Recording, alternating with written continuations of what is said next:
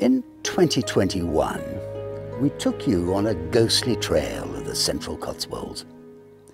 We visited some of the most haunted places the region has to offer, from phantom monks and moving stones all the way to wailing ghouls and demonic chariots.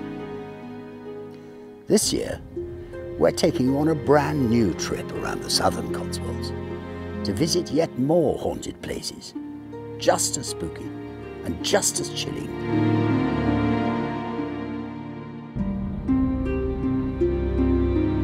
Join us for our live stream at 6 pm on the 30th of October. It's a Halloween special. If you want to be sure to remember it, subscribe to the channel and we'll remind you.